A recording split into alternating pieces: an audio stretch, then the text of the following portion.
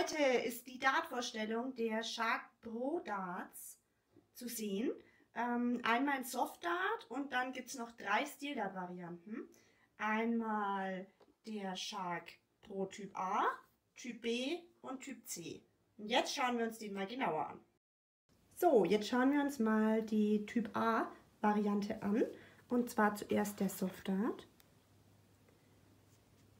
Der hat einen tollen Shark Grip, ein geradliniges Barrel und hier oben noch die Lasergravur von Bulls L.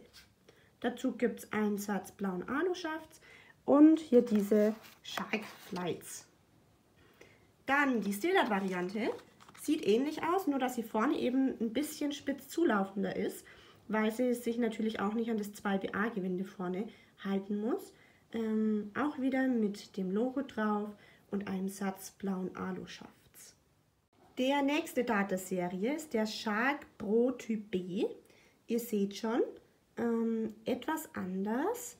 Er hat nämlich einen ganz feinen ähm, Shark Grip. Man denkt erst auf den ersten Blick, es ist ein Ringgrip, aber es ist ein Schalgrip. In der Mitte habt ihr wieder das Logo von Bulls und dasselbe Setup wie bei dem Darts davor. Der Barrel ist ausgewogen und liegt super in der Hand.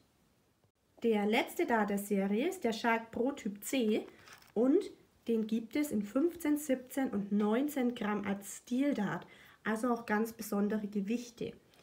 Sieht so aus. Ähm, ist nach vorne leicht dicker, also ganz minimal kopflastig und hat auch wieder diesen tollen Shark Grip, der aber nicht zu aggressiv ist. Und zum Schluss möchte ich euch jetzt nochmal die drei Barrels im direkten Vergleich zeigen. Von links nach rechts Typ A, B und C.